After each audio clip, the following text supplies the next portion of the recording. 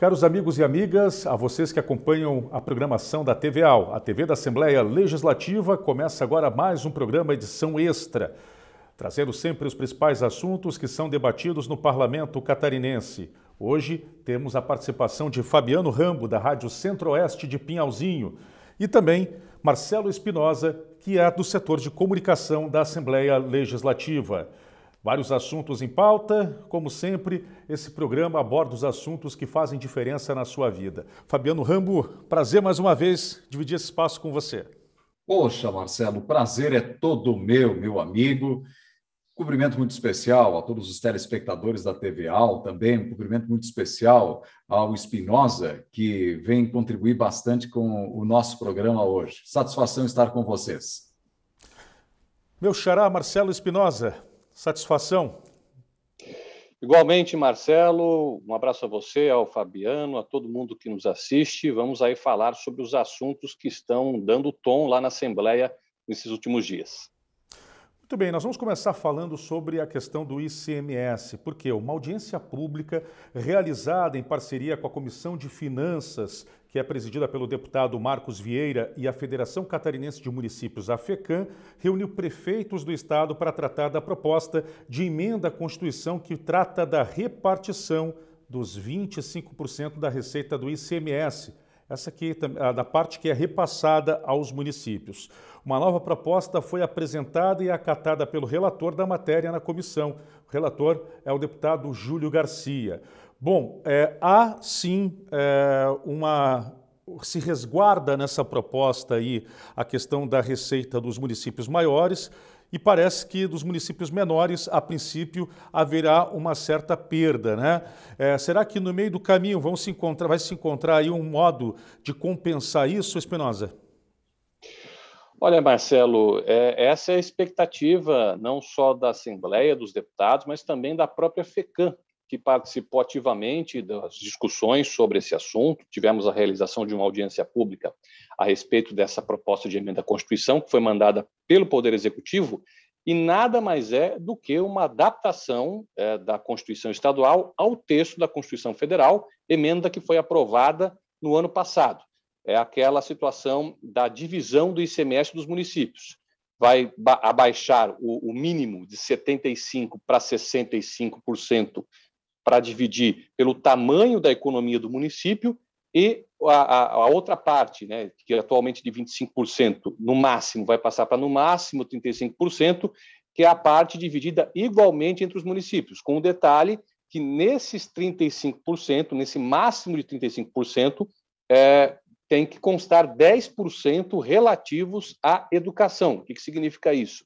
Conforme indicadores educacionais, quantidade de alunos matriculados, haverá uma repartição de parte do ICMS para os municípios, desde que eles respeitem esses índices e também levem em consideração a quantidade de alunos matriculados. Uma, uma situação que foi apontada pela FECAM é que a FECAM defende que, mesmo com essa ampliação de 65 para 35, que na prática isso ocorra na, na porcentagem 75 e 25, porque eles entendem que isso não vai gerar prejuízo para os municípios maiores, é, já que a PEC ela aborda muito a questão dos municípios pequenos também, que têm perdido a arrecadação nos últimos anos em função do advento do e-commerce, né, do comércio eletrônico, concentra muita movimentação nos grandes centros. Perfeita colocação, viu, Espinosa?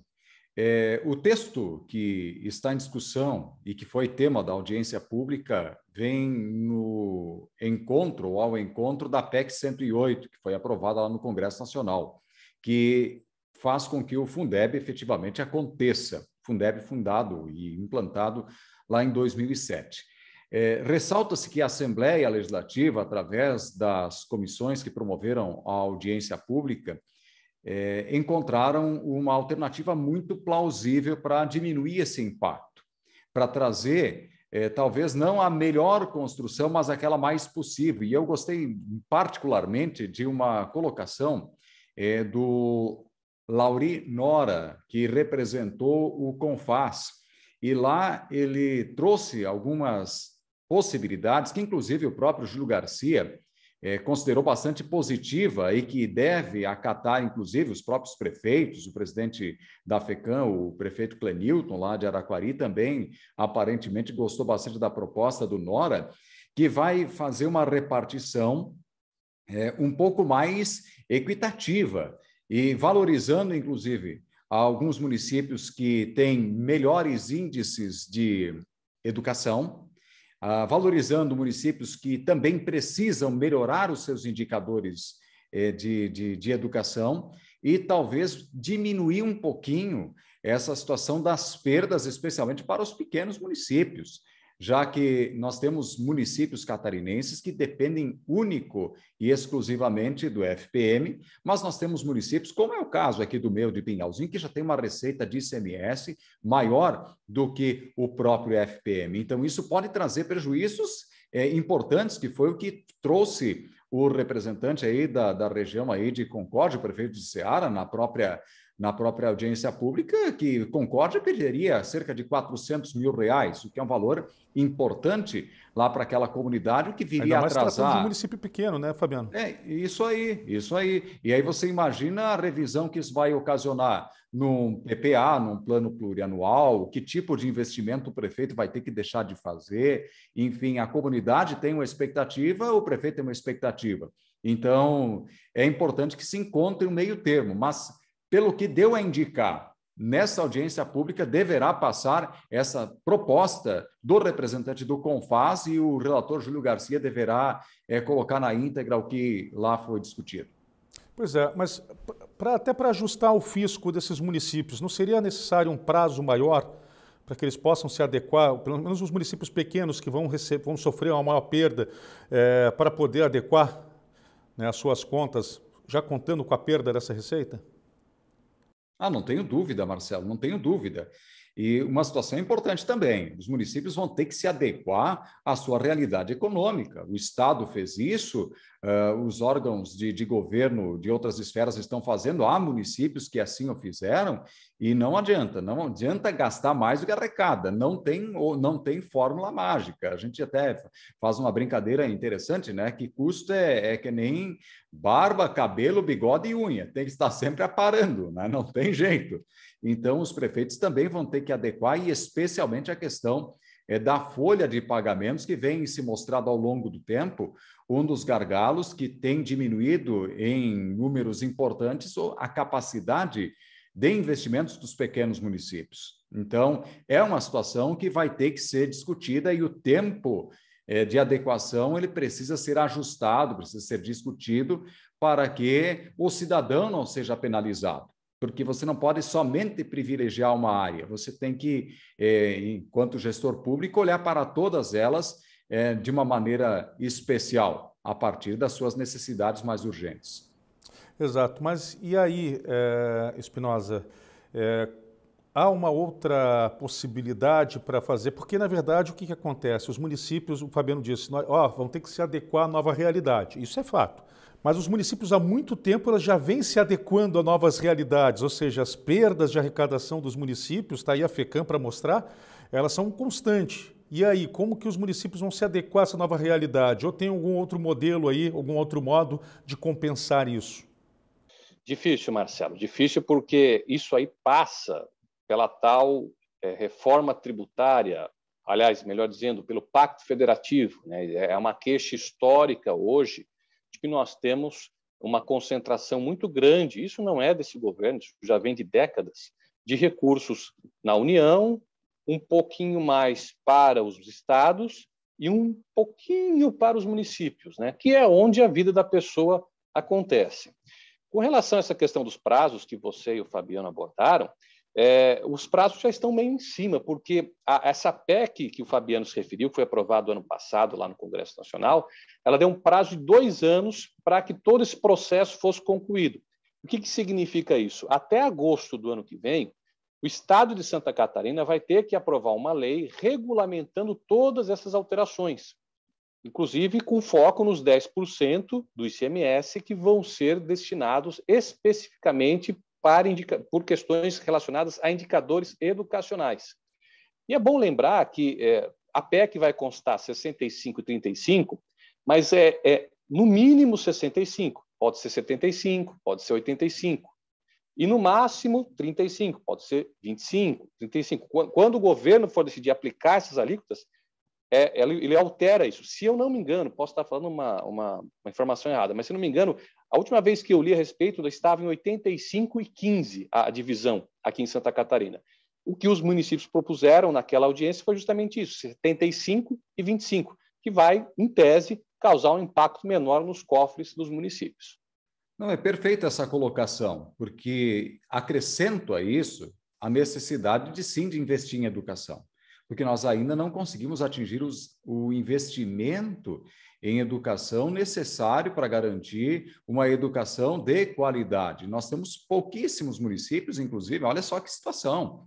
Nós temos a lei de responsabilidade fiscal e nós temos dentro da lei de responsabilidade fiscal 25% que deve ser investido em educação e nós temos um, um, um indicador que é de manutenção de desenvolvimento da educação, onde muitos municípios também não atendem.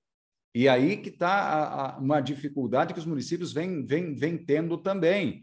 Então, há municípios que não conseguem sequer atender alguns indicadores educacionais, há municípios que não conseguem, ano passado foi um ano bem interessante sobre isso, que os municípios, ou alguns deles, não conseguiram chegar nos 25%.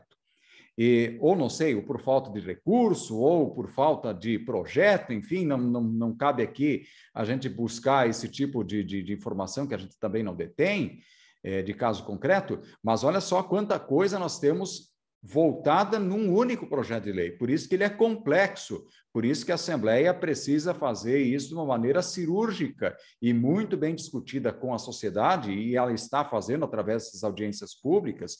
E esta, dessa semana, foi um, um caso muito específico e interessante, que reuniu todas as associações de municípios, reuniu o CONFAS, reuniu os deputados envolvidos, e tudo isso é muito importante. É, tem um ponto que você destacou aí que está gerando uma dificuldade para prefeitos e até daqui a pouco para o governo do estado. A questão de não, de, de não conseguir alcançar os 25% necessários de gasto, justamente por causa da pandemia também. Vale lembrar que não teve, praticamente não teve aula no ano passado, ou nesse ano também, ano, e parte do ano passado, então, não conseguiram investir. Tinha dinheiro em caixa, por exemplo, e não conseguia investir. Ou seja, vão ter que contar aí com uma mãozinha do Tribunal de Contas para entender um pouco a situação, para não complicar a situação de prefeitos e até mesmo do governo do Estado. Não é isso, Espinosa?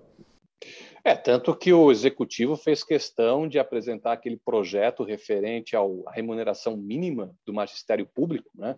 na faixa de 5 mil reais para professor com graduação ou licenciatura plena e que eventualmente é, tem a carga horária de 40 horas semanais, porque só com isso ele conseguiria atingir o mínimo de investimento na educação exigidos, né, os 25%, já que o Estado não pode mais utilizar nessa conta os inativos, os aposentados. É, é uma preocupação não só para o Estado, mas para os municípios, nesse sentido de, de adequar, aliás, de respeitar esse mínimo é, constitucional. Senão, do contrário, muitos podem sofrer aí processos e até de improbidade administrativa, enfim, outras punições. Exato, e que inclusive gera inelegibilidade também, né? Você está acompanhando o programa Edição Extra aqui na TV AL, TV da Assembleia Legislativa. Toda sexta-feira você acompanha esse programa com reprise aos finais de semana. Ou algum colega ou eu estamos, sempre estaremos aqui apresentando o programa, trazendo para vocês os principais debates discutindo com eles. Os nossos colegas aí também que trazem as suas análises, informações, tudo isso para vocês. Nós vamos ao nosso primeiro intervalo e já já voltamos com mais edição extra.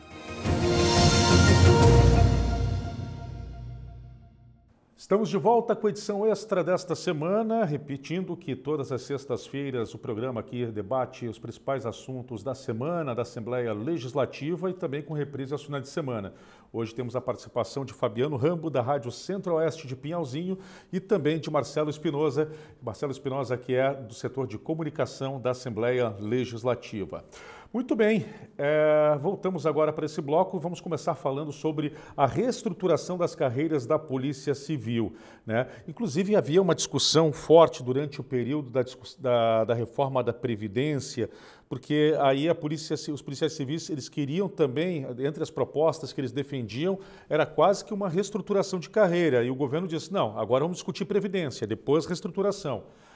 Na opinião de vocês, as propostas aí, é possível chegar a um bom termo entre Polícia Civil e Governo do Estado, Fabiano? Eu acredito que sim, viu, Marcelo, porque a gente acompanhou alguns debates, algumas discussões sobre o assunto, e uma fala que para mim foi bastante forte é, foi do deputado Maurício Scudilar. Ele disse o seguinte: olha, nós temos delegados de polícia, ele que também é delegado de polícia aqui da região de São Miguel do Oeste, que tem 40 anos de profissão e ainda não conseguiram chegar no final da carreira.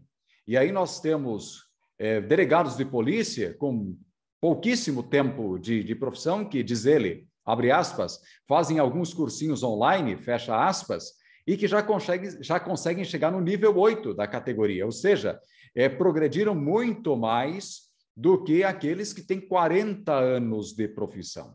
Então, estas distorções, no meu modesto entender, precisam ser entendidas e precisam ser corrigidas, privilegiando aqueles que têm mais tempo de carreira, mais experiência na profissão, aqueles que realmente é, integram há mais tempo o quadro de profissionais é, da segurança pública. Lembrando que nós temos delegados, temos é, investigadores, nós temos psicólogos, temos inscrivães ou escrivães, que são funções da Polícia Civil. Então é muito importante esse quadro e essa discussão. E bem lembrado por ti, viu, Lula?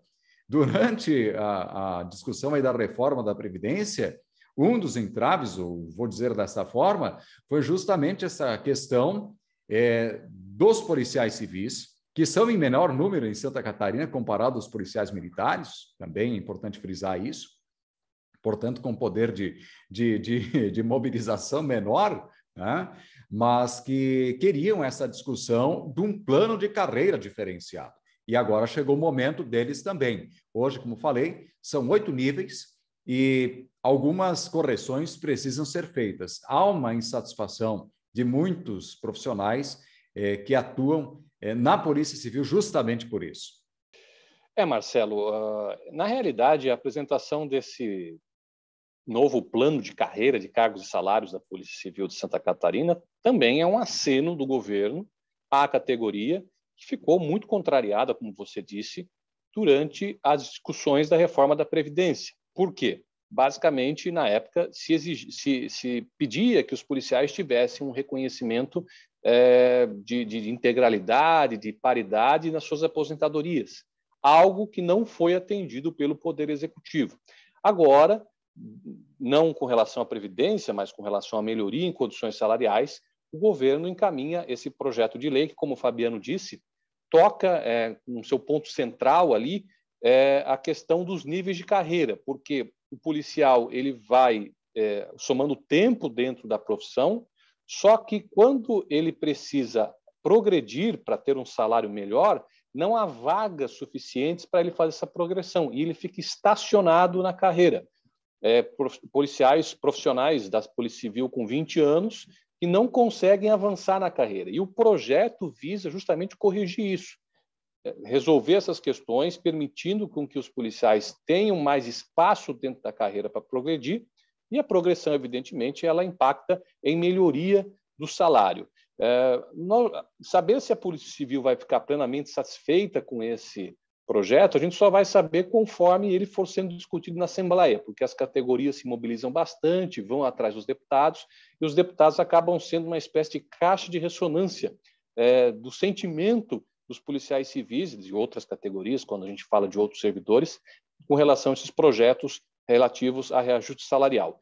A expectativa é que esse projeto, expectativa não, esse projeto tem que ser aprovado até o fim do ano, até dia 22 de dezembro, e vai passar pela análise de uma comissão mista, justamente para dar uma tramitação mais rápida, ao invés de passar separadamente nas comissões que geralmente elas que são, analisam o projeto, vai passar numa única comissão formada por integrantes de outras comissões para tentar dar um, um, trâmite mais célere, até porque esse projeto da Polícia Civil não vai ser o único referente a reajuste para servidor público.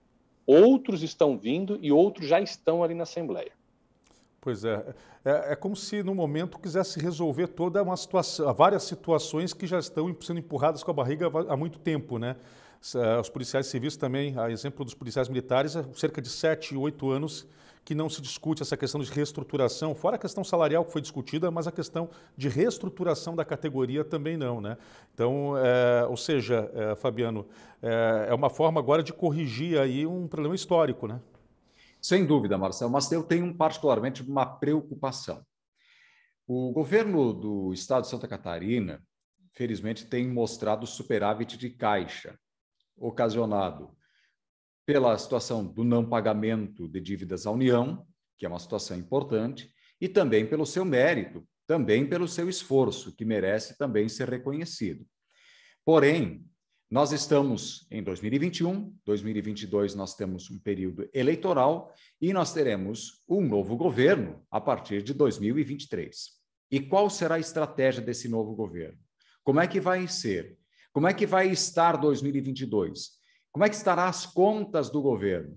Então, eu tenho algumas preocupações que a gente também não pode, desculpa a expressão, esfolar o caixa do governo é, por um momento de condição privilegiada atual. Nós não podemos julgar o hoje pelo amanhã. Não quer dizer que o que está hoje vai acontecer amanhã ou vai continuar sendo pela eternidade.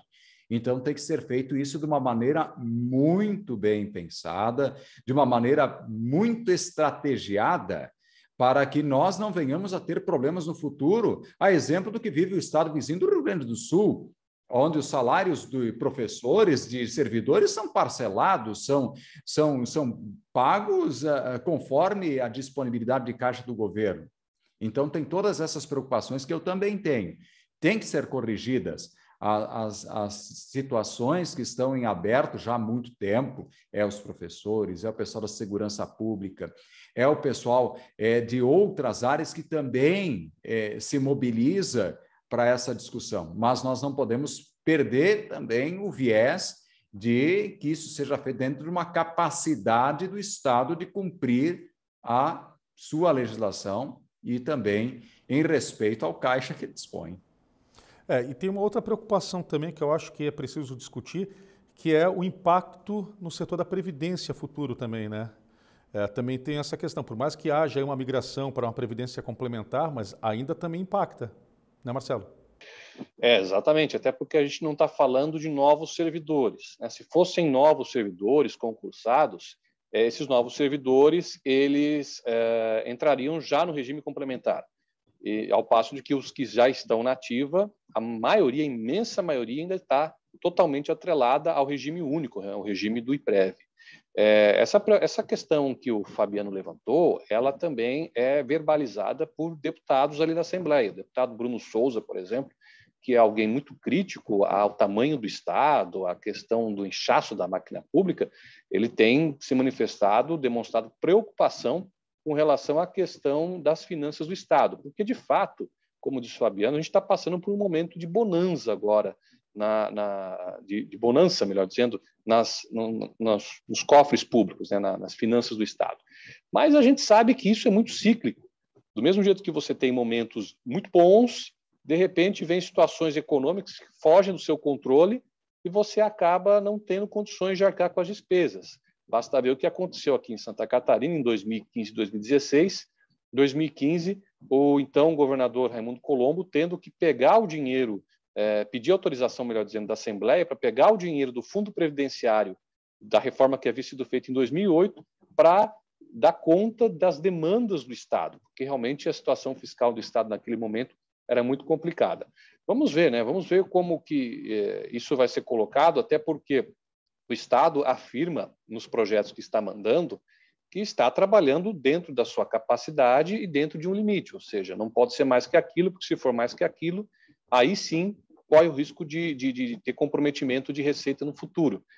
Mas é, é uma situação realmente a ser observada. Né? Vamos ficar de olho, porque essa é uma questão que mexe com todos nós, porque, querendo ou não, quando você acaba tendo um gasto excessivo com o servidor público, isso afeta de todo a estrutura do Estado, o atendimento na saúde, o atendimento na segurança pública e em outras áreas essenciais. Mas, em suma, nós não podemos negar também a importância é, de, de, de, estabelecer uma reestruturação de carreira da Polícia Civil, não é verdade? Dentro de tudo isso que nós conversamos, em cima também desse temor dos impactos futuros, mas é um assunto que não tem como deixar passar também, né? Há toda uma categoria que está se sentindo desvalorizada e que precisa ser atendida. Fabiano.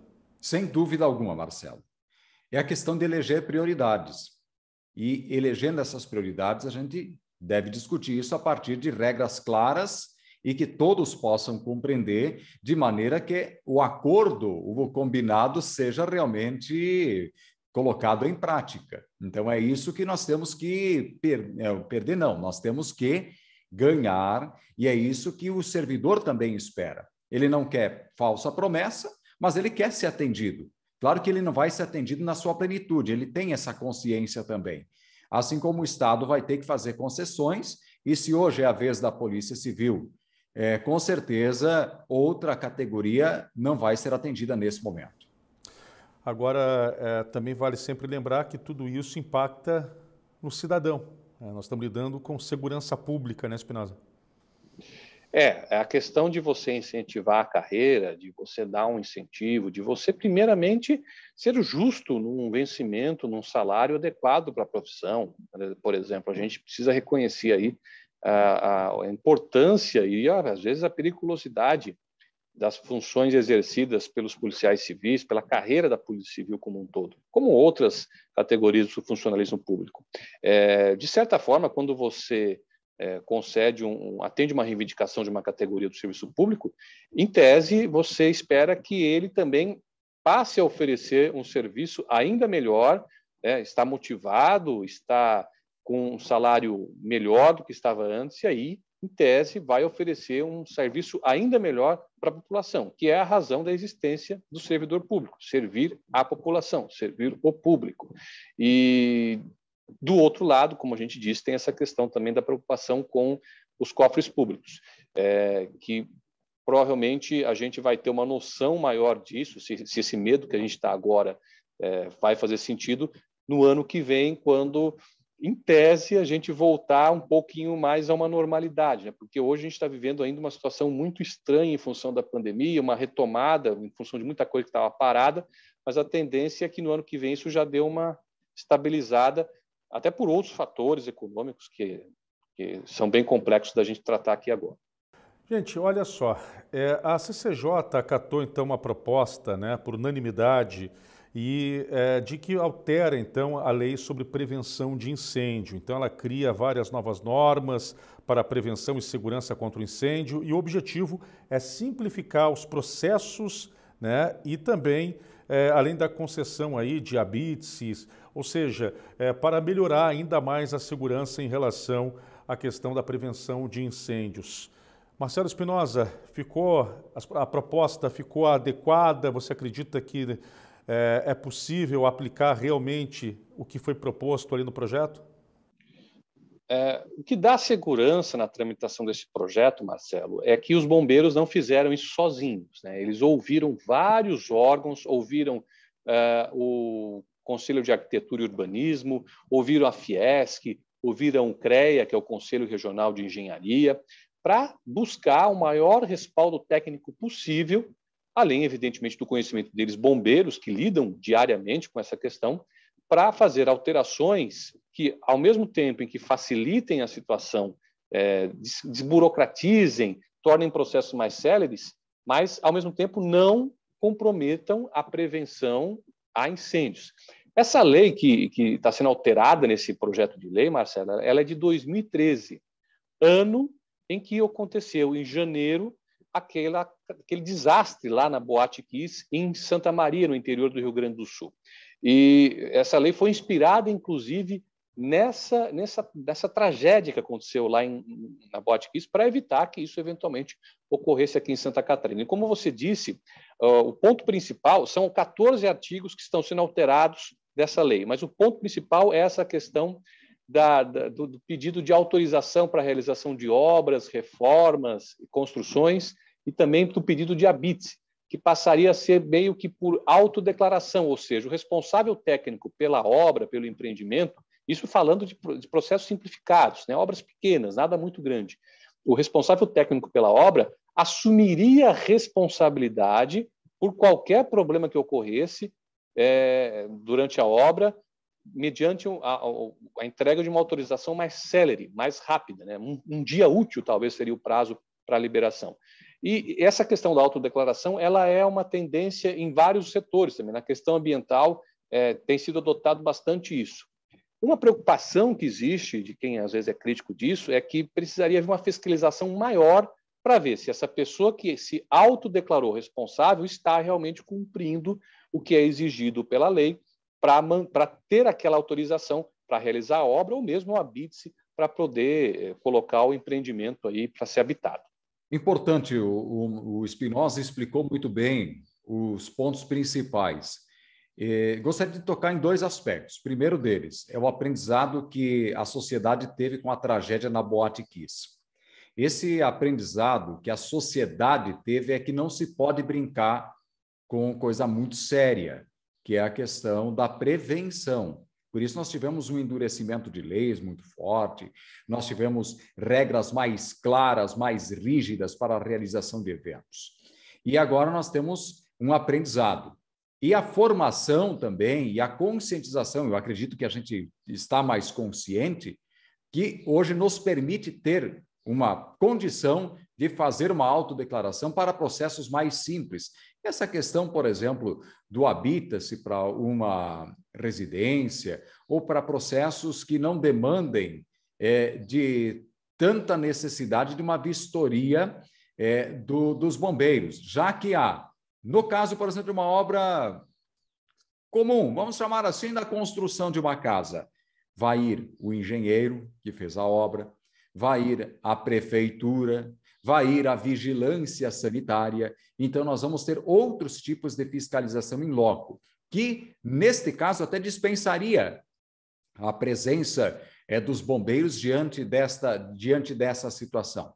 Então, tudo isso daria mais celeridade a processos mais simples. Obviamente, resguardados os processos mais complexos para a participação dos bombeiros. Eu creio que é uma lei importante e o Marcelo foi muito feliz ao colocar que os bombeiros não fizeram isso sozinhos, que os conselhos é, dos arquitetos, dos engenheiros, estiveram presentes também é, para a elaboração desse, desses conhecimentos todos e chegar numa possibilidade de dizer, não, nós assumimos a responsabilidade sobre isso, ou até aqui nós temos plenas condições de assumir a responsabilidade. Então, esse é um aspecto muito importante. Vai garantir celeridade e ser feito com ética e responsabilidade, a segurança fica garantida também. Muito bem, você está acompanhando a edição extra aqui na TV a TV Assembleia Legislativa. Todas as sextas-feiras nós trazemos aqui os debates dos principais assuntos da semana e com reprise aos finais de semana. Hoje participam Fabiano Rambo, da Rádio Centro-Oeste de Pinhalzinho, e Marcelo Espinosa, do setor de comunicação da Assembleia Legislativa. Nós vamos ao intervalo e já já voltamos.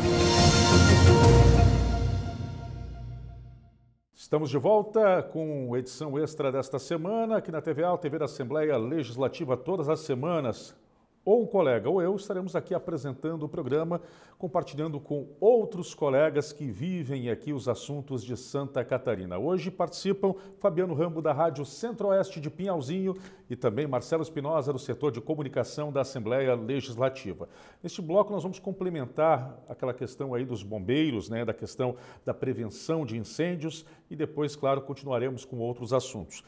Bom, é, Marcelo, é, um outro ponto que ficou aí no outro bloco nós não abordamos foi a questão da autorização ou o fim da proibição para a, o uso aí de show pirotécnico é, em ambientes fechados, em eventos fechados. A minha pergunta é, é tudo bem, vai haver fiscalização, né?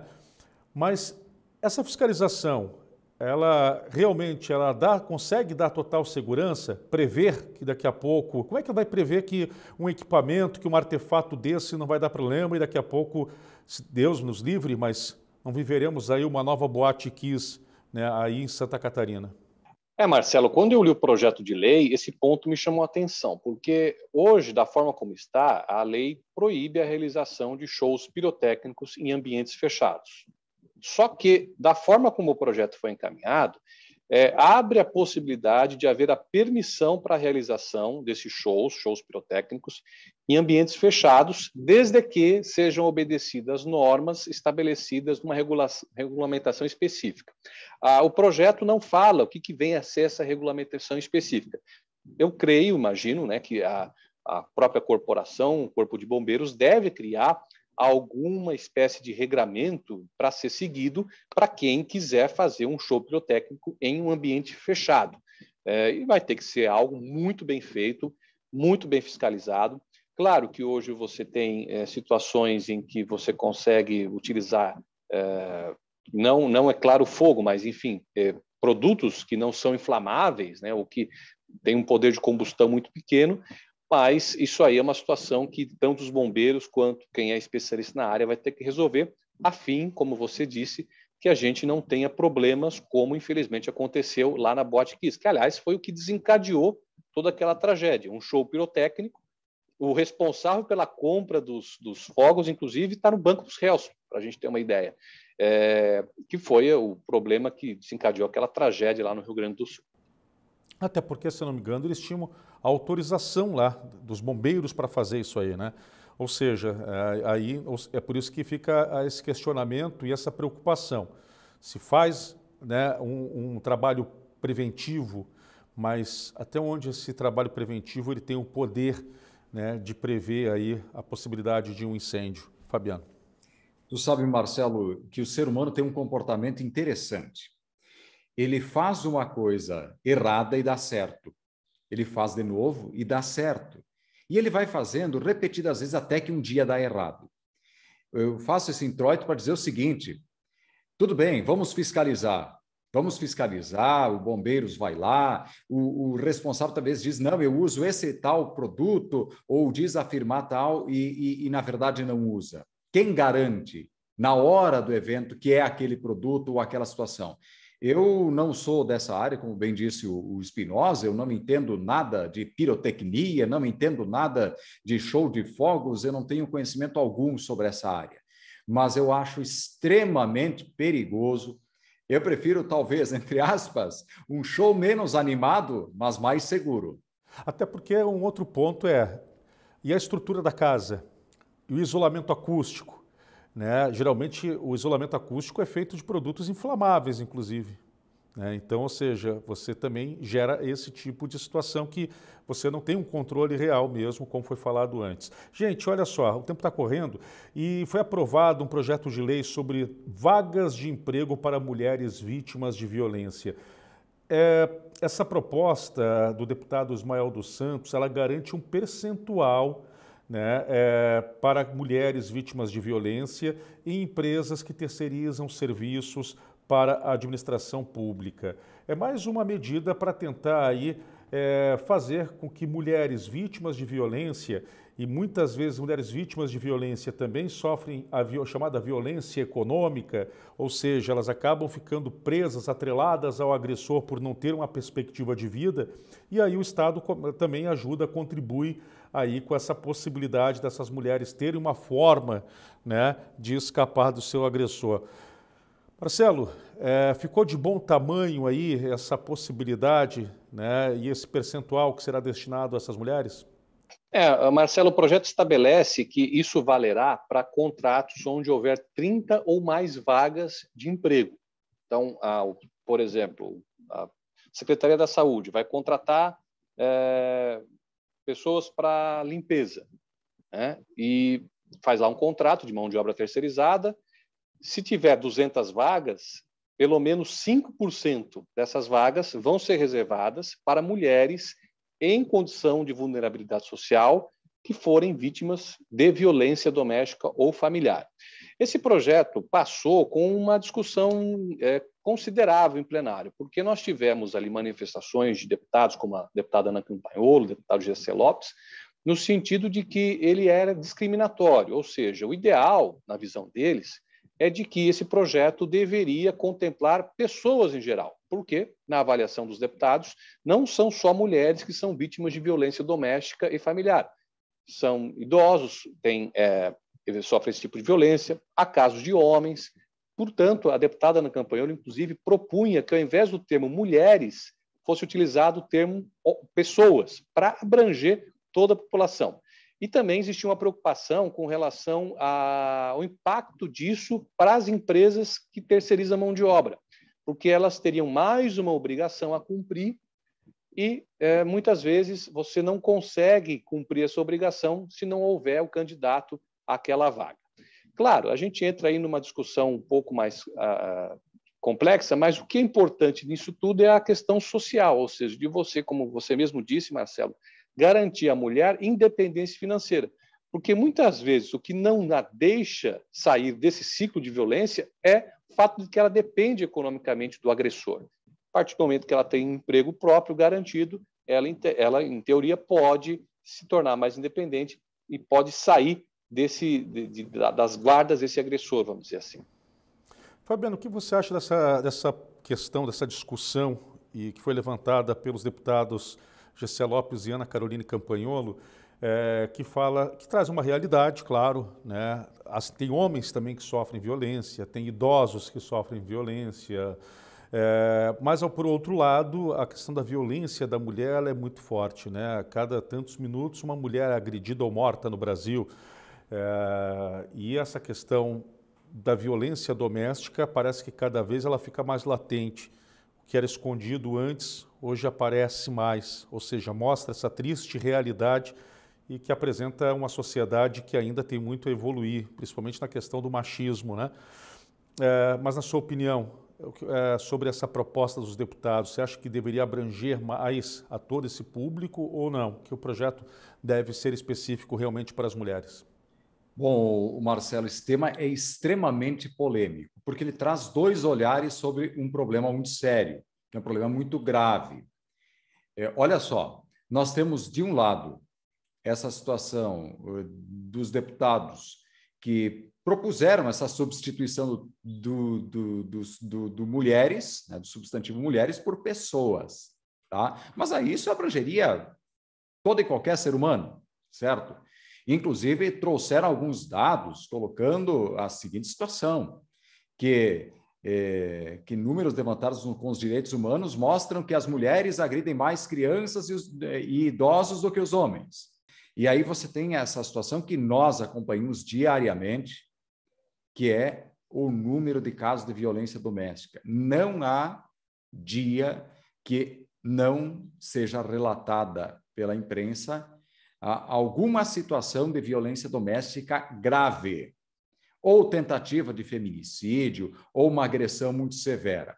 E como bem disse aqui no programa, a mulher ela precisa, para conseguir se livrar desse processo eh, de, de, de violência, uma independência. E a independência financeira é muito importante. Eu creio que, se há algum tipo, entre aspas, de discriminação no projeto de lei, é uma situação que a sociedade precisa entender que ela é necessária. Então, o projeto, ele sim, vem ao encontro de uma realidade atual, que quem sabe num momento futuro, quando a sociedade for um pouco mais consciente, a gente possa dizer não, essa essa lei aqui não faz mais sentido, como a gente já está revisando muitas coisas hoje, com leis que talvez no passado fizessem muito sentido. Mas hoje nós precisamos sim olhar para essa realidade. Nós temos muitas mulheres nessa situação que, por serem vítimas de violência doméstica, não conseguem emprego. Né? Porque muitos empregadores, principalmente em cidade pequena, olha só, ah, aquela, lá, aquela pessoa foi vítima de violência, pá, se torna, entre aspas, alguém, desculpa a expressão, mal olhada pela sociedade. Então, eu creio que este projeto ele se faz necessário, apesar de haver esse entendimento de que proporciona uma certa discriminação, que eu não vejo neste momento desta forma. Pois é, aí acaba gerando uma segunda violência, né? Não basta ela ser vítima de um agressor, assim como também da sociedade como um todo através do preconceito. Ou às vezes até em caso de cidade pequena, tem o fato também do agressor ser conhecido, ou o dono do estabelecimento, da empresa que poderia contratar essa mulher, conhecer esse agressor, e na verdade aí, olha, é, é uma. Infelizmente acontece uma, uma duplicidade dessa violência. Marcelo, como que vai ser feito para que as empresas cumpram? Né? Ou seja, vai ser criado um cadastro dessas mulheres? É, como que se vai atrair essas mulheres para que elas possam sim aproveitar essa oportunidade de emancipação, podemos dizer assim?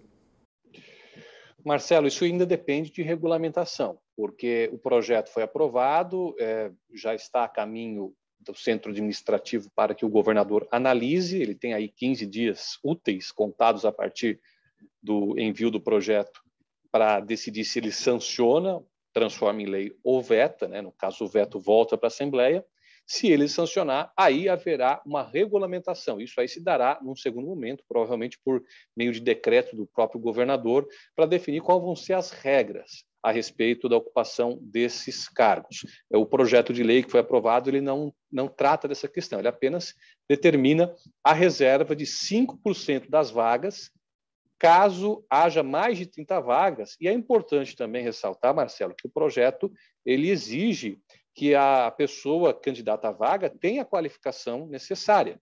Não adianta nada você, por exemplo, colocar uma pessoa é, para fazer uma função para a qual ela não tem treinamento apenas para que ela tenha alguma função. Então, essa questão da qualificação técnica também está prevista na lei. Não é algo assim solto, é algo que está, pelo menos nesse aspecto, amarrado. Mas os critérios é, vão ser definidos num, numa outra norma, um, provavelmente por meio de decreto do Poder Executivo. Agora fica uma ideia, né, Fabiano? Bem que os municípios também poderiam adotar. Interessante a sugestão, viu, Marcelo? Interessante essa sugestão que, que poderia, quem sabe, ser uh, estendida aos municípios. Como falei, nós temos casos em municípios grandes, pequenos, lares de pessoas com maior poder aquisitivo, de menor poder aquisitivo. É uma, é uma situação que não faz distinção. É uma questão de caráter é, do agressor. E isso independe de muitos fatores. Mas valeria a ideia, viu, Marcelo? Creio que daqui a pouco algum gestor público que possa estar acompanhando o programa hoje possa pensar nisso com carinho, com certeza. É, exato. E é importante destacar também que é, a questão das mulheres aí que são vítimas de violência, que oportunidades, enfim, aos poucos a sociedade está apresentando alternativas, que é importante que essas mulheres não fiquem caladas, não sofram violência calada e que a sociedade também ajude a denunciar, né? E até eu estava lembrando agora de uma coisa, uh, Fabiano, se eu não me engano, em alguns municípios, ou boa parte dos municípios pequenos, o maior empregador acaba sendo o poder público também, né? Ou seja, é, isso também é uma forma de o poder público fazer a sua parte. Sem dúvida alguma, viu, Marcelo? A, a maior empresa, entre aspas, é, do município é a prefeitura, em muitos dos municípios. Então, por que não dar o exemplo no poder público, que é aquele que representa a todos? Obviamente, respeitadas essas questões de qualificação, que o projeto de lei aí já está prevendo de maneira muito clara e assertiva. Exato. Agora, a questão da qualificação, Espinosa, quando é cobrada a qualificação, o Estado também poderia criar um mecanismo para ajudar na qualificação dessas mulheres, até porque muitas acabam abdicando de estudar, de se preparar para cuidar dos filhos, cuidar da família, e aí quando se vê numa situação como essa, elas também, ela, ou seja, muitas não vão ter condição de ocupar essas vagas, né? Exatamente. É interessante essa sua colocação, porque é uma forma de você amarrar todo o processo, né? de você permitir que a, que a lei tenha realmente eficácia, ou seja, de repente você pode aí, é, mediante a sua regulamentação, criar dispositivos para que o próprio Estado, através de parcerias com a iniciativa privada ou mesmo do seu, sua própria estrutura, possa realizar a qualificação dessas mulheres para ocupar esses cargos.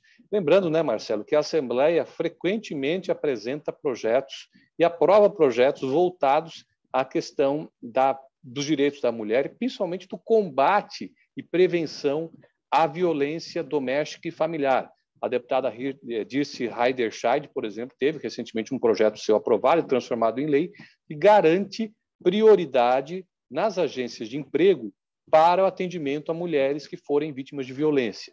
Existem várias outras iniciativas nesse sentido. Existe uma certa resistência por parte dos deputados mais conservadores com relação a essas propostas, é, por uma questão de entendimento ideológico deles, mas mesmo com essa resistência, esses projetos têm avançado, têm passado e têm sido transformados em lei. Para encerrar, um assunto que deve entrar nas próximas semanas, a questão do ICMS, da revisão do ICMS, né, Marcelo?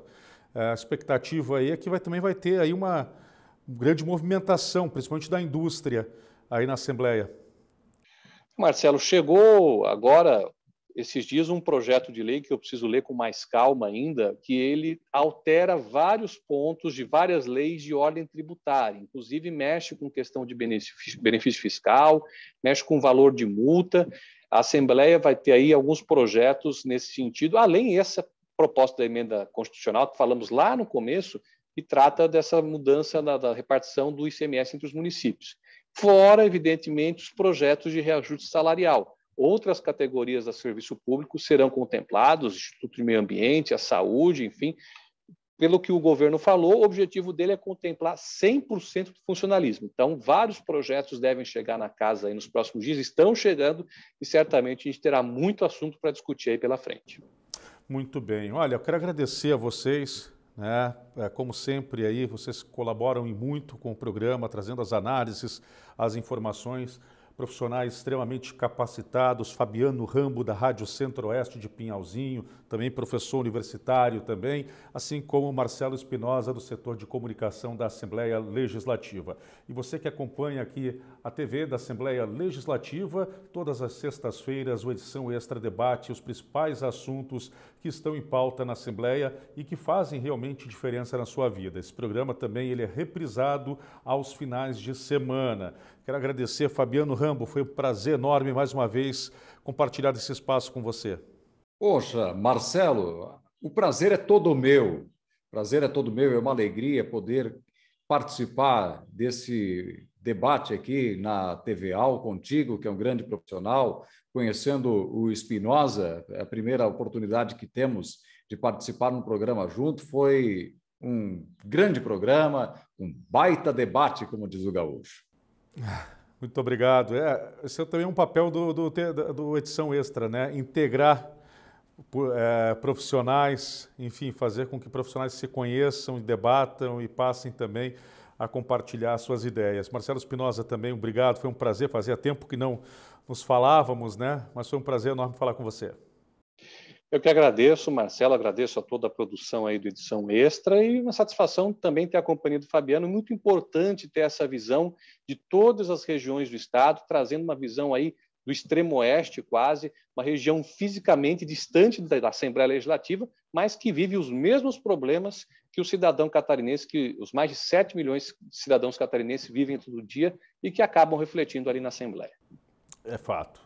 Gente, e assim vamos ficando por aqui, agradecendo, como sempre, a sua audiência, fazendo o convite aí para que na semana que vem você assista a mais uma edição do a mais uma edição do Edição Extra, desculpe a redundância. Mas enfim, vamos ficando por aqui. Muito obrigado, um grande abraço e até o nosso próximo encontro.